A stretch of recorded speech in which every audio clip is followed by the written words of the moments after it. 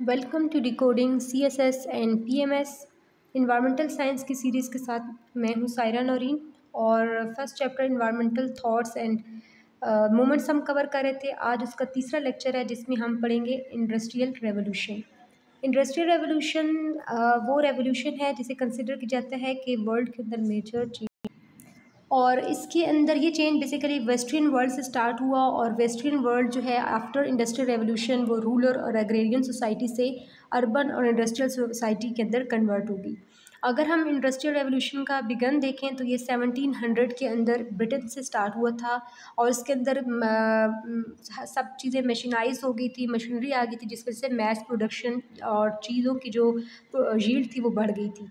But इसके साथ साथ क्या हुआ था? इन्वायरमेंटल हेजर्ट्स बहुत ज़्यादा हो गए थे और इसके अलावा इंडस्ट्रियल रेवोल्यूशन जैसे जो ह्यूमन का रिलेशनशिप है विद इट्स इन्वायरमेंट वो बहुत ज़्यादा इफ़ेक्ट हुआ चेंज हुआ, उसके अंदर मेजर चेंज आया। अगर हम इंडस्ट्रियल रेवोल्यूशन के हिस्ट्री देखें तो हमारे पास फोर मेजर एरा आया है जिसके अंदर इंडस्ट्रियल रेवोल्यूशन अकर हुआ। सबसे पहले सेवनटीन एटी फोर के अंदर आ, ये स्टार्ट हुआ था और यूरोप के अंदर स्टार्ट हुआ था। मैकेनिकल प्रोडक्शन स्टार्ट हो गई थी। रोड रेड बन आ, रे, रो, रेल रोड जो है वो उनकी कंस्ट्रक्शन हो गई थी जिस वजह से ट्रांसपोर्टेशन ऑफ़ थिंग्स वो ईजी हो गया था। एंड स्टीम पावर का यूज़ हुआ।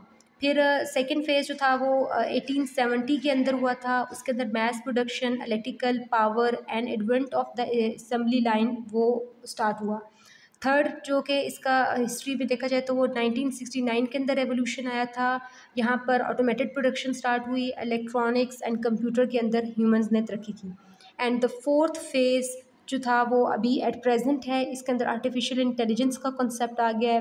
Big data storage in a small devices robotics and more to come जो है वो नियर फ्यूचर में हो सकता है।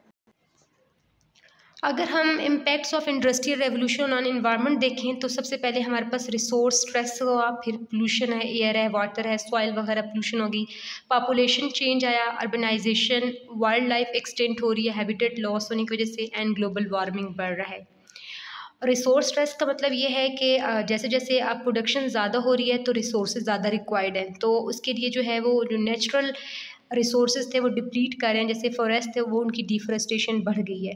पॉपुलेशन चेंज में ये है कि पॉपुलेशन एक्सप्लोजन हो गया है with advance of medicine and better living condition human का डेथ रेट कम हो गया है लाइफ स्पेन बढ़ गया है, जिसकी वजह से पॉपुलेशन एक्सप्लोजन बहुत ज़्यादा हुआ है after industrial revolution seventeen hundred seventeen century में देखा जाए तो human population was just seven hundred million था। उस time fifty seven percent growth rate था, जबकि एटीन सेंचुरी के अंदर यही after industrial revolution one billion हो गया।